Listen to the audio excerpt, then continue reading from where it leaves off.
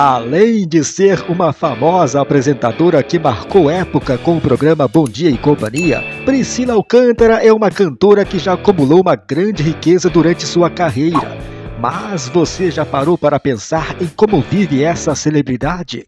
Nesse vídeo você vai descobrir como é a vida luxuosa de Priscila Alcântara.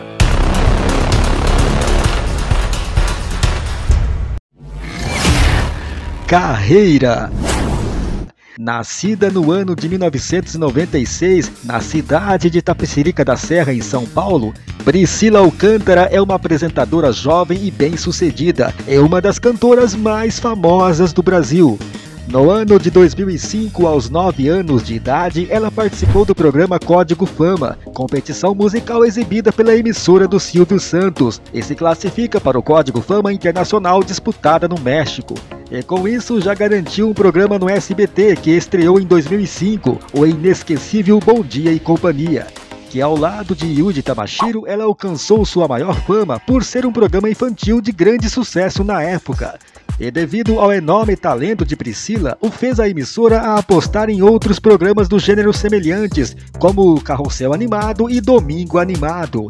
Priscila sempre teve uma amizade muito boa com seu ex-colega de programa Yuji Tamashiro, e inclusive ela foi crucial na decisão dele em se converter à religião evangélica e abandonar a vida desregrada que vivia. Depois que saiu do SBT, ela passou por outras redes de TVs, comandando programas. No ano de 2018, ela lançou o álbum Gente, que fez um enorme sucesso. Aos 25 anos de idade, a cantora gospel possui uma das vozes mais belas do Brasil. E foi indicada ao Grammy Latino de 2019 na categoria Melhor Álbum de Música Cristã Língua Portuguesa, mas não ganhou. Priscila Alcântara lançou ao todo cinco álbuns gospel.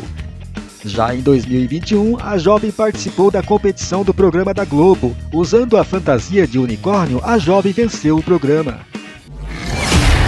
Viagens Priscila passa a maior parte do seu tempo viajando, porém a cantora não tem essa ambição tão grande na hora de viajar como escolher viagens pontuais com objetivos já traçados. Mas uma viagem que marcou a vida da cantora foi sua viagem para a África com a atriz Bruna Marquezine, a fim de fazer uma viagem missionária para ajudar as crianças carentes da aldeia Nice, Angola. Através da igreja, as duas tomaram essa decisão e passaram um bom tempo nessa viagem missionária.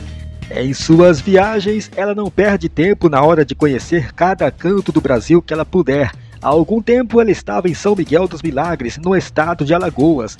A viagem aconteceu junto também de sua amiga Bruna Marquezine, e as duas esbanjaram muito por lá. O que não faltou nessa viagem foi as belíssimas fotos em que Priscila esbanja seu belíssimo corpão. As duas celebridades ficaram hospedadas em uma mansão à beira-mar, que conta com uma paisagem paradisíaca em Itacaré, e esta mansão é avaliada em quase um milhão de reais pela região. Tudo indica que Priscila Alcântara é bem fã de Alagoas, já que voltou lá algumas outras vezes com outras amigas, como a Maju Trindade. Priscila já realizou outras viagens também para a Europa, mas apenas com o objetivo de divulgar sua música em shows. Outra viagem que Priscila Alcântara realizou foi para o Chile, com o objetivo exclusivo de dar um passeio pela América Latina. Polêmicas Todos nós sabemos que Priscila cresceu em um meio evangélico desde pequena, tentando encarar uma carreira no pop e na televisão. Tudo começou quando, ao sair do Bom Dia e Companhia, ela seguiu a sua carreira musical tomando uma personalidade mais autêntica e descolada. No ano de 2017, Priscila foi ao festival Lula Palusa, comprando uma das primeiras brigas com os evangélicos de sua religião.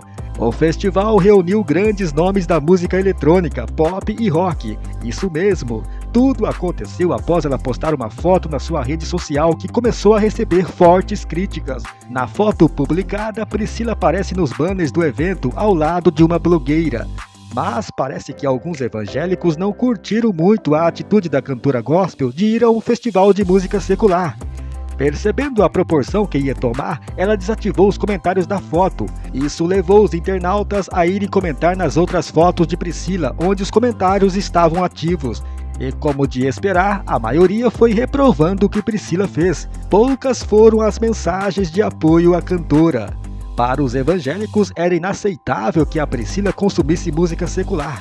O que causou mais confusão foi quando a cantora rebateu as principais críticas. Os críticos caíram em cima de Priscila quando ela resolveu também mudar seu corpo, um dos princípios básicos de sua religião, como o uso de tatuagens e cabelos diferentes.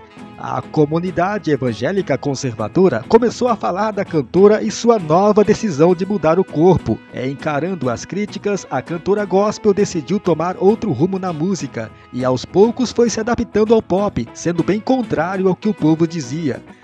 Em uma de suas últimas entrevistas, questionada sobre sua religião, ela revelou já ter cumprido todo o seu papel na comunidade da música gospel. Priscila falou em entrevistas que não deixa de ser cristã, mas que seu estilo de música agora será o pop por oferecer mais caminhos e uma nova possibilidade em sua carreira.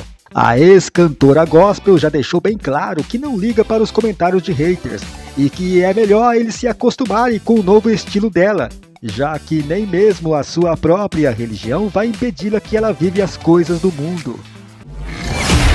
Casa Priscila definitivamente não economizou na hora de comprar sua casa, onde vive hoje em dia com sua família.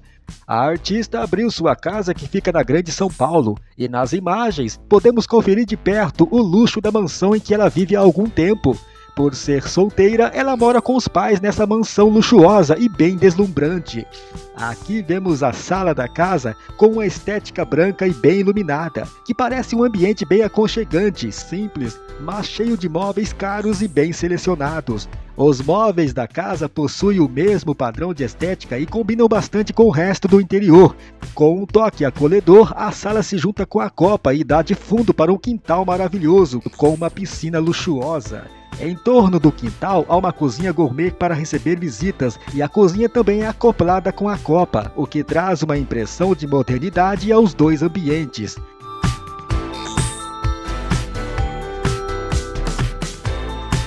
No andar de cima, a casa é o mesmo padrão da parte de baixo, contando com móveis exclusivos e bem compactados para que a família possa ficar junta. Em seu quarto é possível ver uma decoração minimalista e uma sala repleta de livros. Priscila ama música e por isso seu quarto está sempre rodeado de instrumentos musicais. Com um closet exclusivo e um banheiro privativo, a cantora contém peças de roupas caras e de algumas marcas bem famosas. Além disso, ela já afirmou que seu quarto é mais compacto por não gostar muito de coisas grandes e preferir tudo mais juntinho para que ela possa se organizar melhor. A mansão, que conta com alguns aspectos de simplicidade, tem um valor estimado de mais de um milhão de reais, além de contar com artigos de luxo que a deixam muito mais moderna. Negócios Apesar de ter feito grande parte de sua fama e popularidade como apresentadora de TV, essa nem sempre foi sua única fonte de renda de Priscila que já atacou em outras frentes durante a sua carreira. A paulista tem uma carreira musical interessante, já lançado vários álbuns de grandes sucessos. Uma outra grande fonte de renda da cantora foi sua marca de roupas que administrava junto com a sua família, a Pricota Modas, que hoje é conhecida como Alcântara Store, uma loja que já não existe mais por motivos de Priscila focar em sua carreira de cantora. Priscila também é chamada diversas vezes para dublar personagens e fazer trilha sonora de filmes famosíssimos como A Caminho da Lua, da produtora Netflix. Já em 2021, a jovem participou da competição do programa da Globo. Usando a fantasia de unicórnio, a jovem venceu o programa. E após seu sucesso no reality, ela segue contratada da Globo e com grandes produções a caminho para o seu futuro, que pode ser brilhante dentro da emissora. Com todo esse patrimônio, a cantora segue com mais de 6 milhões de seguidores no Instagram, o que representa uma grande oportunidade para parcerias e trabalhos publicitários. Ela tem também mais de um milhão e meio de ouvintes mensais nas plataformas digitais. Priscila também é dona de um canal no YouTube onde ela publica seus trabalhos musicais. Hoje ela conta com mais de 3 milhões e meio de inscritos e este número só vem crescendo. Fortuna com uma carreira de sucesso, embora boa parte se deve à sua carreira gospel, Priscila sem dúvida é uma cantora bastante rica. Quem vê Priscila assim tão jovem podem achar que ela não sabe mexer com grana, Mas engana-se, pois desde pequena, quando apresentava o programa na emissora do Silvio Santos, a cantora já faturava uma boa grana, chegando a ganhar quase 70 mil reais por mês, junto com anúncios publicitários. Priscila segue faturando nas plataformas digitais de músicas com números elevados, já que todos os seus álbuns foram sucesso tanto no Brasil quanto em países no exterior. A ex Bom Dia e Companhia ainda ganhou uma bolada de 250 mil reais quando se tornou vencedora da edição do The Sing Brasil. A antiga parceira de Yudi Tamashiro diz que gosta de comprar sempre o necessário e esbanjar apenas quando for preciso. Por isso, ela guarda toda a grana que ganha e não gosta muito de gastar sem motivos.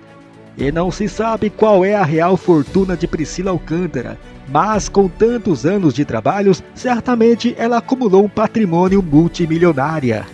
E aí, gostou do vídeo? Então não esqueça de deixar aquele like, se inscreva no canal e ative as notificações para não perder os próximos vídeos. Aproveite também para assistir um desses quatro vídeos que aparece aqui na tela. E até a próxima, valeu!